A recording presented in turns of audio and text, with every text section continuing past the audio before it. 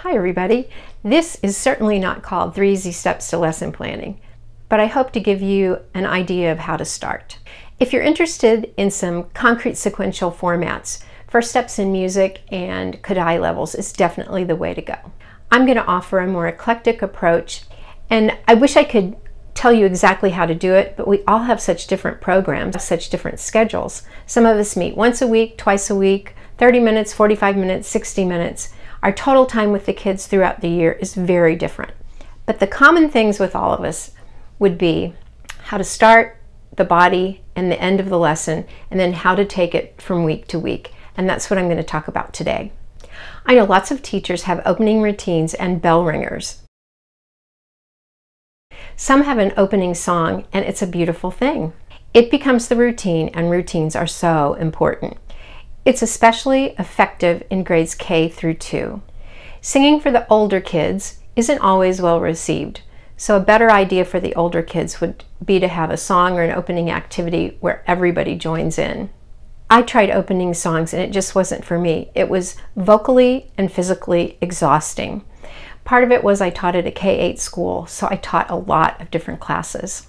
Instead, I alternated two different activities for my opening one called Body Shapes, which I created years ago. Body Shapes was playing on the screen as they entered, and they would follow along with moving their bodies to the music. It was a great focus activity. I started at the beginning of the year and used it throughout the year. My other opening was a slide deck where we sang and signed a major scale and a minor scale, do based and la based scale. I did this with grades 3 through 5. Grades 1 and 2 did just a major scale, and grade 2 picked up the La based scale in October for Halloween. A lot of teachers use a rhythm pattern as a bell ringer, and that works for a lot of people where the kids come in and they have a rhythm pattern on the board, some music, and they perform that uh, to start the first minute or two of class.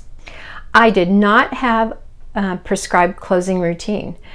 I taught right up to the last minute or so of class with whatever the body of my learning was.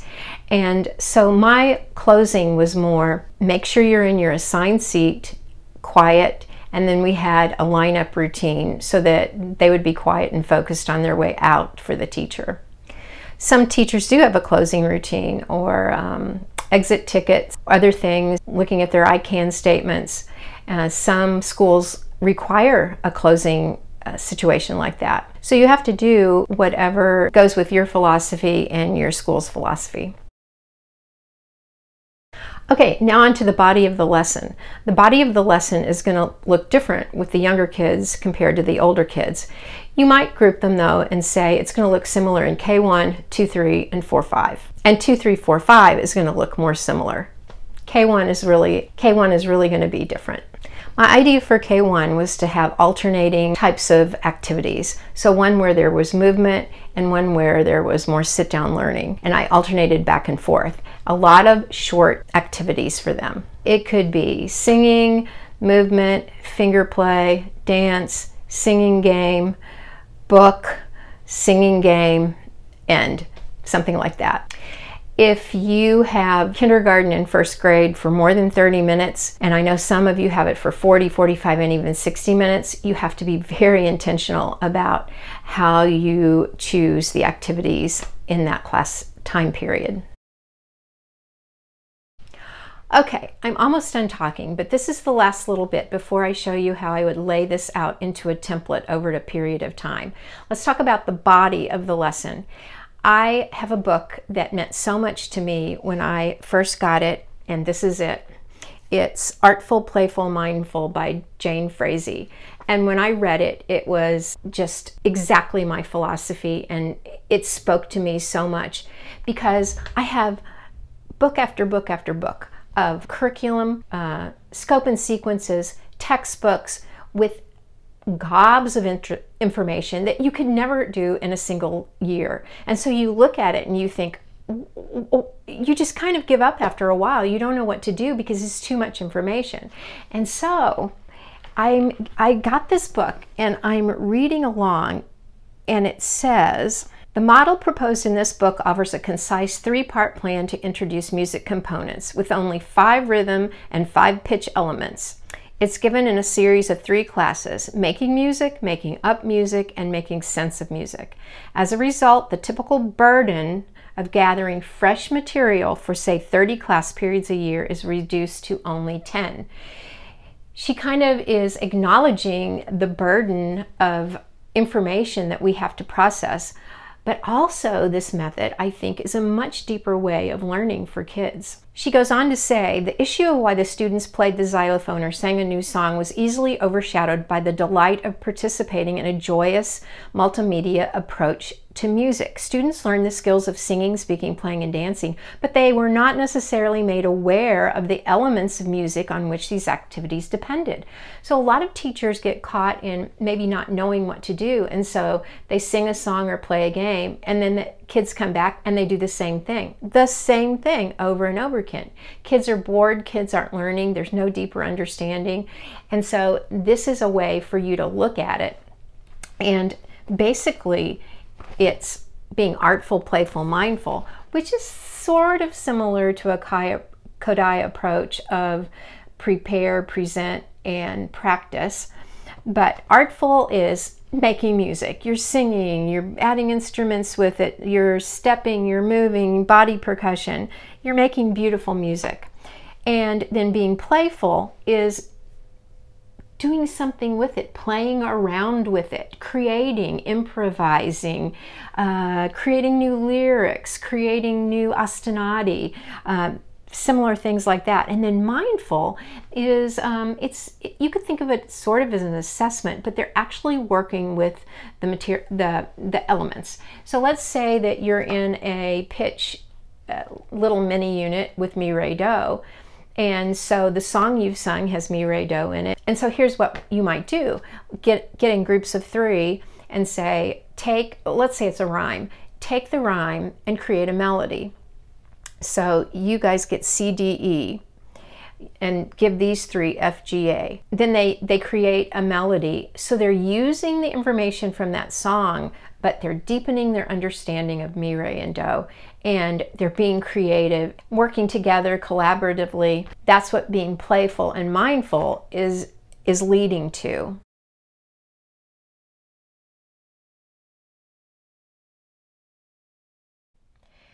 This is a kindergarten and grade 1 template with seven activities for each lesson.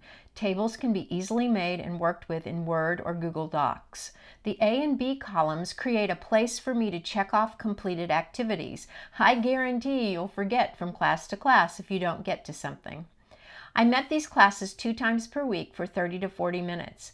I work with four to six lessons at a time, which gives you continuity and a visual way to look at extended and extending learning for that artful, playful, mindful idea.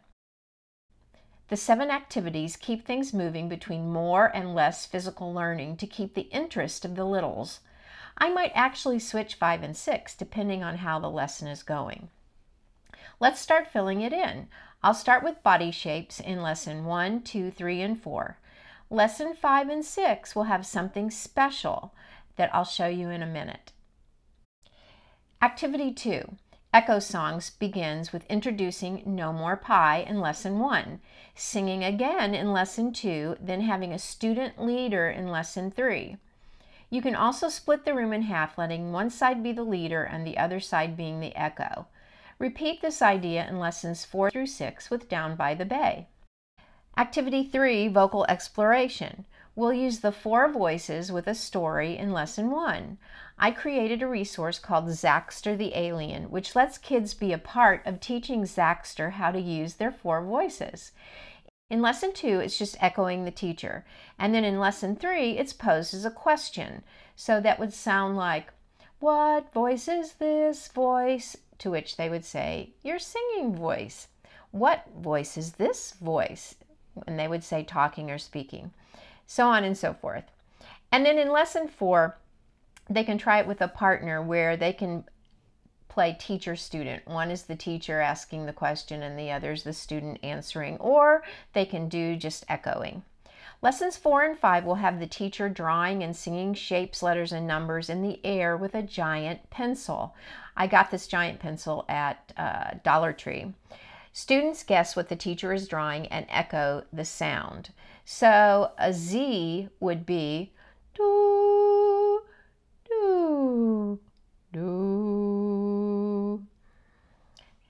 All right, activity four is movement related to music elements such as dynamics, tempo, beat, and pitch.